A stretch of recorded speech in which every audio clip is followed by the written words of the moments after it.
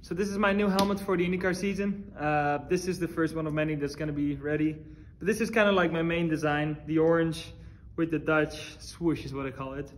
Um, I want it to be quite simple, but the background to be quite crazy. So if you see in the front, this is everywhere in the orange. I wanted it to be like tire marks of the IndyCars. Of course, we don't have profiles, so we used duct tape and put the paint on it right like that. So it's all the way around. And on the back, we got rocket arenas with a rocket. So pretty awesome. I'm uh, gonna be excited to see how successful this one's gonna be.